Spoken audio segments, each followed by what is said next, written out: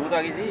ਪਹੁੰਚ ਕਿਵੇਂ ਨਾ ਮੈਂ ਗਿਆ ਉਹਦੀਆਂ ਅੱਖਾਂ ਤੱਕ ਪਾਈਆਂ ਗਲ ਚ ਪਾਈ ਮਾਂ ਹੁਣੀ ਮਾਰੀ ਹੌਲੀ ਨਾਲ ਆ ਗਈ।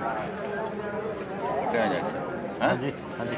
ਉਹ ਕਹਿੰਦਾ ਸੂਤ ਆ ਗਈ ਤੇ ਤੇ ਤੂੰ ਸੂਤ ਆ ਗਈ ਤੇ ਉਹ। ਹਾਂ, ਹਾਂ। ਮੱਝ ਮੱਝ ਫੈਣਾ ਨਹੀਂ ਉਹਨੇ। ਹਾਂ ਹਾਂ। ਆਉਂਦੀ ਕਿਵੇਂ ਨਾ ਜਾਣਦਾ ਕਹਿੰਦਾ ਮੈਂ ਅੱਖਾਂ ਚੱਖਾਂ ਪਾਈਆਂ ਗਲ ਚ ਪਾਈ ਬਾਹ ਮਾਰੀ ਕੁਣੀ ਹੌਲੀ ਨਾਲ ਵਾਲੀ। ਹਾਂ। ਕੱਢੀ ਸਿਰੰਜ ਪਰ ਪੂਰੀ ਭਰ ਕੇ ਗੱਡ ਤੇ ਗਿਆ ਹਾਂ ਹਾਂ ਹਾਂ। ਠੀਕ ਹੈ। ਠੀਕ ਹੈ। ਹਾਂ ਸਹੀ ਹੈ ਹੈ ਵਧੀਆ ਲੱਗ ਰਿਹਾ ਹਾਂ ਹੁਣ